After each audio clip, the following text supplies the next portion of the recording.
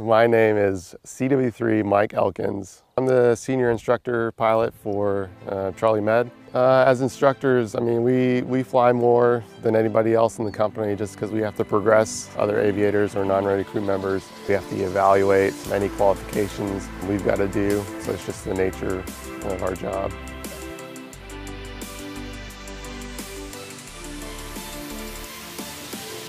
So I was prior commissioned, uh, I was military intelligence. I was trying to find something new and I went through uh, officer candidate school. Uh, so aviation wasn't even a branch that you could pick.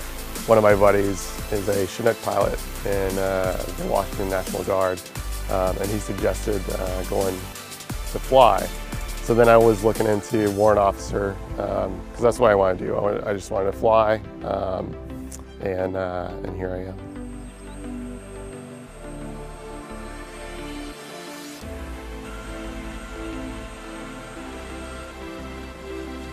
A big part of uh, obviously anything that we do is planning.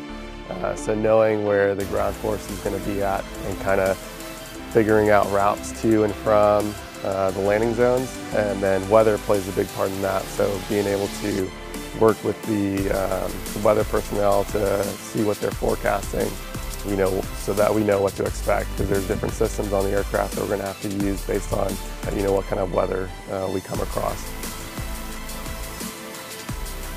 Once all that's done, um, then we head out to the aircraft and we check uh, the logbook to make sure that all there's no inspections or anything that we're going to come across. And the aircraft is is set up for medevac, so we have the proper equipment uh, in there, medical supplies, litters. And then once that's done, then we run the aircraft up, make sure that it's operational, and then we wait. We're in a rest posture, so that way we can um, get the call and be um, ready to go off the ground within 15 minutes.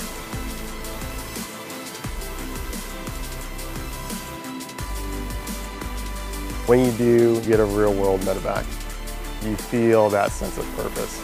Um, like you're actually doing something, you helped somebody that was in need. Kind of like that.